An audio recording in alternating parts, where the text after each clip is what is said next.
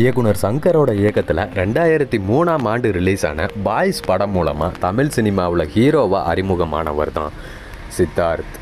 தொடர்ந்து தமிழ் தெலுங்கு ஹிந்தி படங்களில் கூட நடிச்சிட்ருக்காரு சமூக வலைதளங்களில் ஆக்டிவாக இருக்க சித்தார்த் தொடர்ந்து அரசியல் ரீதியான கருத்துக்களையும் தன்னோட ட்விட்டரில் பகிர்ந்துக்கிறத வழக்கமாக வச்சுருக்காரு.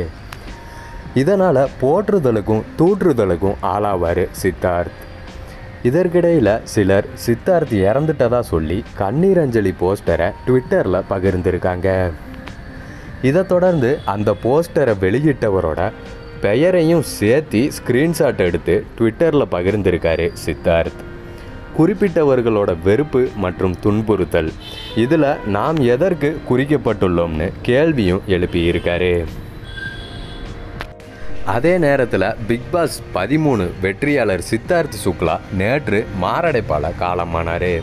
அதனால் குழப்பத்தில் தமிழ் நடிகர் சித்தார்த்தோட பதிவை பதிவிட்டிருக்கலான்னு சிலர் கமெண்ட் பண்ணிட்டு இருக்காங்க.